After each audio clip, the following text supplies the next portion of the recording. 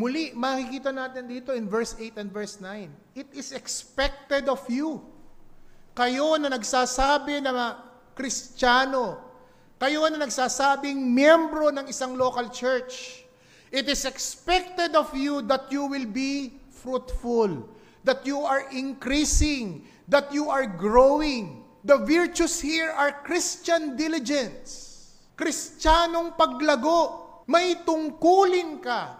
May tungkulin ang bawat mananampalataya. Every true believer who received the saving faith, he cannot hide its fruits.